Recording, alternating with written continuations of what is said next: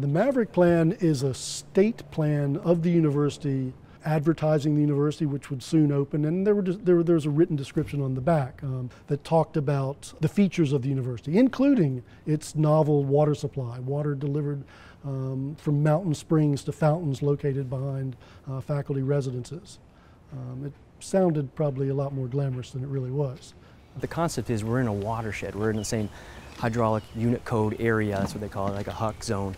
And so when, if, if we can treat this water here, it's actually cleaner for when it eventually gets downstream. How often do you contemplate water quality? Our guest today is passionate about bringing awareness to this critical topic. Join us as we learn about UVA water systems and the importance of stormwater management. Come on. Um, roughly 25% of all the water at UVA is used in producing this chilled water for air conditioning. The hospital that is right next to this plant has a water reclaim system where we're harvesting the water, the rainwater that falls on the, the building, as well as some of the condensate off of the air handling units and bringing that back to the plant to help make up water there as well. So this is water that would normally just go down the drain and we're using it before it gets evaporated into the air. So it's really kind of a double benefit, water savings and energy savings, and of course, um, really good for the environment and our climate. So Dawson, we're here at the Dell. Tell us why this was created in 2003. Back when they were constructing the John Paul Jones Arena, they decided, well, you're, you're going to need about 20% of the space for stormwater management facilities, and they didn't have the physical space to actually locate it. So they said, well, what are we going to do about that? We, we still want to build the facility. So they looked at this spot. It's a little bit upstream. We're in the Meadow Creek watershed, and this is a perfect spot to mitigate all that stormwater that's going to be going to that site eventually anyway. And talk about the role of the Dell. What, what happens here? Break it all down. It's a multifunctional landscape. There, it's, a, it's a park, but it, most importantly, it serves as a, a spot that treats stormwater. Water that comes down from Observatory Mountain comes through a stream that was recently daylighted. What does that mean? They brought it to the surface. It wasn't a pipe, and then they just brought it back up to the surface, reconnected it to the floodplain, and so it, it, winds its way down for about 1,100 feet. It's augmented by a couple different biofilters or bioretention areas, and then it dumps into this forebay right here and all the particles that the pollutants in the sediment settles out in the forebay spills over into the main bay of the of the pond the dell itself and then it eventually gets collected in the outlet structure and works its way on down through this the underground system. So and so really what are the benefits of, of, of doing it this way? So why why is this better for water? Why is this better for water quality? There's a lot of natural processes that happen with the stream itself. So as water's traveling through the stream, as it's meandering through the stream, it's dropping out a lot of those particles, that, that those pollutants that happen to be picked up. And then once it gets to the forebay, it's, it's, it's a perfect place for that, that settling to occur. So it's, it's a bigger, wider area and, and the particles start moving slower. So when you have those pollutants, it gives it a chance to actually settle out and filter out. And then when it gets to the uh, actual big pond, it's, it gives uh, even more opportunity for the particles to settle out all those pollutants. And here, it's a whole lot easier to maintain this and clean this out than it would be to clean out the large pond itself. And so just tell us just a little bit about the history of water management at UVA. The history at UVA was similar to everywhere else in the country uh, and the world, I think, at the time. There was a lot of just pipes that were used. The, the idea was to get rid of the water as fast as possible. Let's collect it up, let's get it away from the buildings, our properties, put it in a pipe, send it away, get it into our streams uh, as fast as possible. And we realized that that wasn't necessarily a good idea because you, you know, you're collecting all that water and it's shooting down to a stream at really high velocities and you're going to cause some erosion and then if it's not mitigated properly you're going to cause some downstream flooding. And then on top of that when it rains water that runs off and goes towards your stream or wherever, it's going to pick up pollutants. It's going to pick up your sediment. It's going to pick right. up phosphorus, nitrogen, fertilizer, uh, and that kind of stuff, oils and grease.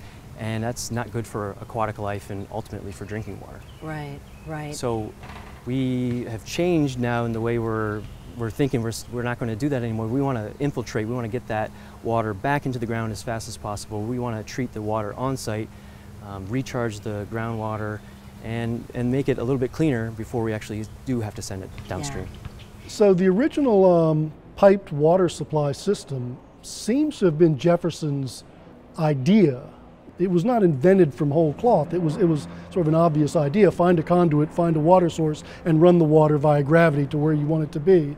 Um, putting it into place was another matter because there were very few people, if anybody locally, who had an understanding to, as to how to construct wooden logs, or uh, wooden pipes out of logs, how to construct cisterns, how to properly waterproof them. Jefferson had done some of this at Monticello. It, it was figured out in, in fairly short time here. A lot of this sort of ties in with Jefferson's way of thinking of doing things. Talk about talk about the correlation between this and some of the practices or beliefs of Thomas Jefferson. So the Dell is in a way a realization of one of Jefferson's visions.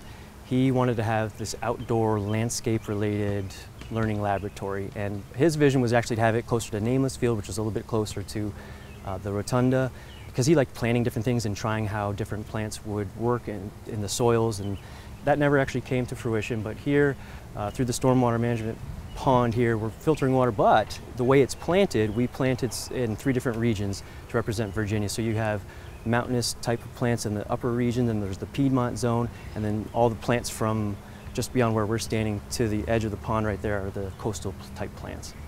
Talk about why stormwater management is just, it's so important to you. You're very, very passionate about this, about educating people about it, about making people aware of the importance of, of it. Why? Well, arguably water is our most precious resource. And that speaks to me, hopefully it speaks to everyone. But what a lot of people don't know is that the amount of fresh water that's actually available for us to drink is only about 2.5% of what's in, on, in the, on the world, in the world right now. So um, yeah, we, the more you know to treat it well, the better it is for all of us. Yeah, and this site too is just so lovely. So you're, you're, there are so many different things that are going on here. You have recreation. There are people who fish here, mm -hmm. People who study here. Talk about some at UVA. A, a, couple of the different departments carry on studies here. Yeah, it's, it's pretty neat actually. The uh, environmental science department comes down here. They do water sampling, uh, and then there's a you've got uh, landscape architects who study the lines and, and, how it ties into the landscape. You also have civil engineers who do surveying and, and that sort of thing here too. So it's, it ties in with that Jefferson Learning Laboratory. Again, all those different facets come together.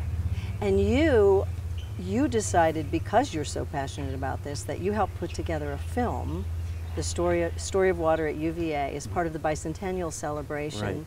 Tell us a little bit about the film and why you did it.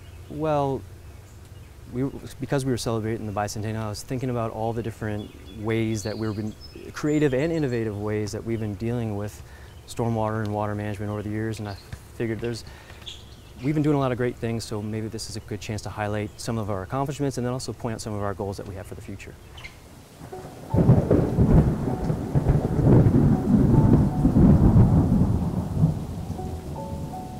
At the University of Virginia, we've been changing our focus to stormwater trying to get away from the situation where stormwater is a waste product that we need to get rid of to something that is a resource that we can take advantage of.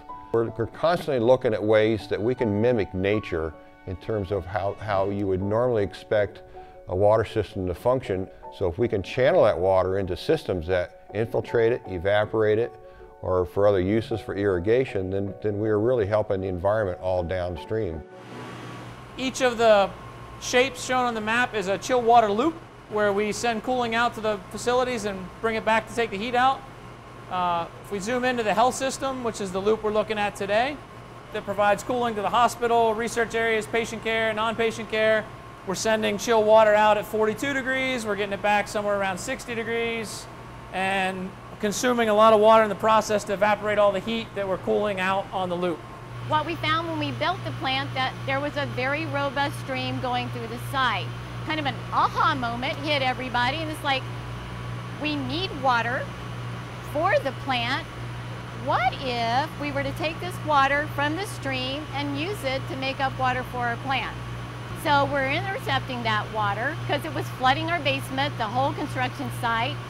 And, it, and we're getting about five gallons per minute, which maybe doesn't sound like a whole lot, but that's about two and a half million gallons a year in water that we get from the spring that helps make up the water to our chiller plant. So talk about some of the best management practices that you all have here at UVA. We have probably close to 144 active BMPs on, on grounds now.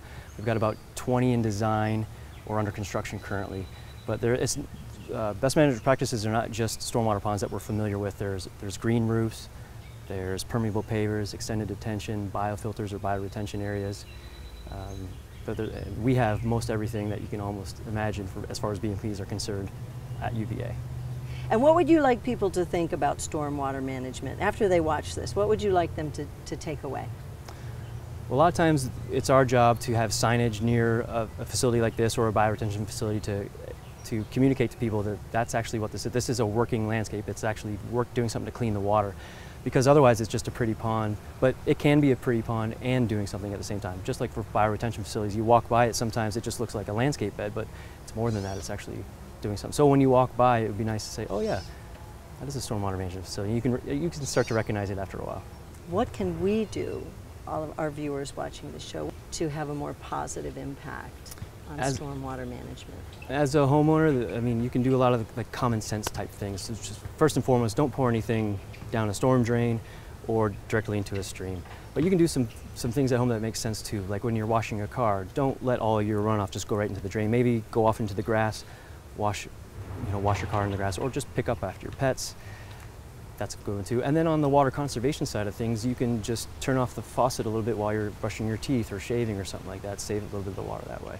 When the university was constructed, um, late 18 teens, early 1820s, um, it was actually constructed with a centralized water supply. There was a whole series of cisterns scattered around um, the edges of the lawn. Water was piped from springs on Observatory Hill to an underground brick vaulted chamber that still exists. And from that chamber was pumped via steam power to tanks in the attic of the rotunda. And the water was largely to be used for fire suppression. It was the insurance policy of the university.